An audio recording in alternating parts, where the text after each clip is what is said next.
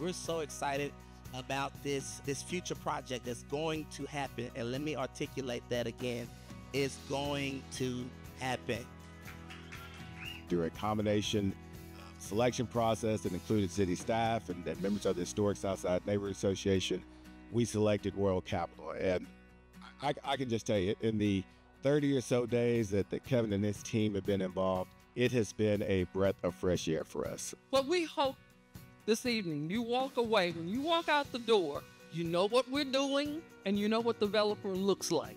I think Fort Worth is a very warm community. Uh, I think that we like Fort Worth more than y'all liked us at first, though.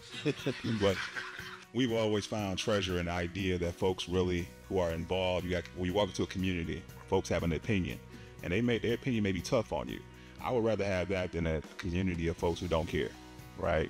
Community of folks who just don't show up, and y'all have packed this room. And so all of the energy and so forth that I'm seeing tonight is what I saw when I first came down here. When Royal Capital came, we made a commitment with the city of Fort Worth that we was going to be very committed to working in this partnership. And I'm excited about what the potential holds for this site. Just knowing how you all have galvanized around this opportunity and looking at our abilities to really deliver here, we really sat down and was like, I think we'd be a perfect match.